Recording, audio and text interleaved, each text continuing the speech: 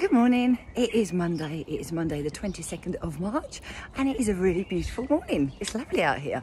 So I just thought I'd check in and say hello. Um, I hope you got up and done the daily challenge. I've done that this morning. The main thing I wanted to go and say is, oh my God, today is a V day. It is the vaccination day. I am having my jab at 3 p.m.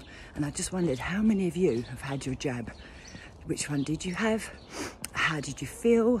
Were you nervous? How many of you aren't to have the jab? What are your thoughts? Give me a shout. So I thought I'd do this almost like the vaccination diaries because I am so scared. I've also got a stinking cold. She's got a really bright red nose. Got a really stinking cold, just a head cold. And I'm like, oh, that's it, great. So now I've got a cold and I'm going to have to have the jab and my nose is running because I'm outside in the fresh air. Oh, there's lots of people out in the park this morning. I'll flip that around and show you. You see?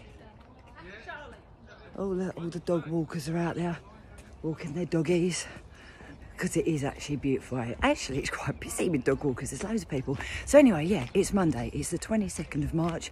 Have an absolutely wonderful day. I really hope you join in doing the DC with me and let me know your thoughts on the coronavirus vaccination. If you've had it, um, if you are going to have it, if you're nervous, if you had any side effects, give us a shout. Let me know. Bye.